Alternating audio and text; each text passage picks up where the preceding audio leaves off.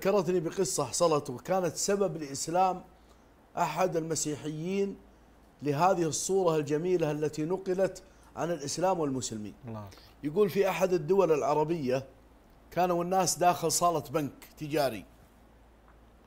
وكان البنك مزدحم. مزدحم العالم مزدحمة فيه. طبعا ما كانت ال- الأنظمة الإلكترونية قد تطورت مثل الآن. والناس مجتمعين في هالبنك اللي على الكراسي واللي واقفين. يقول دخل هو طبعا في دولة إسلامية. يقول دخل ذاك الشايب يا الله يمشي. يقول قام اثنين ولا ثلاثة مطاليق شروا من عندي. عن كراسيهم تعال هنا يا عم تعال هنا يا عم تعال هنا يا عم. وفق الله واحد منهم وخذاه سوى مثل سوات أخوي الأستاذ أحمد ولا يستغرب الطيب من أهل هذه الله البلاد يعزك. فقبل راسه وجلسه في مكانه ووقف. كان في واحد مسيحي واقف من ضمن هالناس اللي واقفين. سأل هذا الشاب اللي قام عن الشايب. قال ممكن أسألك سؤال لو في فضول؟ قال تفضل.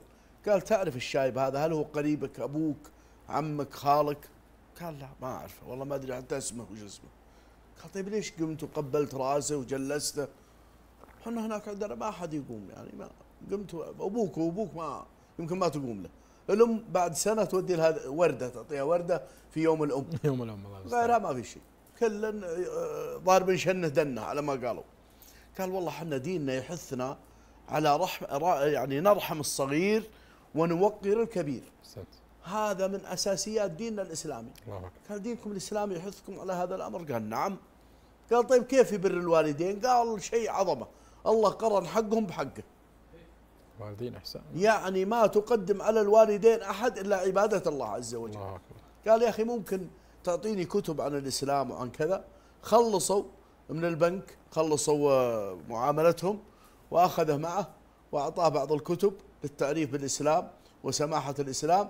يقول فدخل الرجل إلى الإسلام بسبب هذه المعاملة. الله أكبر. فالدين مو مواعظ وخطب لا هي جزء من الدين ولكن الدين موقف. المعاملة. دائما ترغيب الناس في الدين بالمعاملة الحسنة بإظهار الجوانب التي حثنا الدين على إظهارها.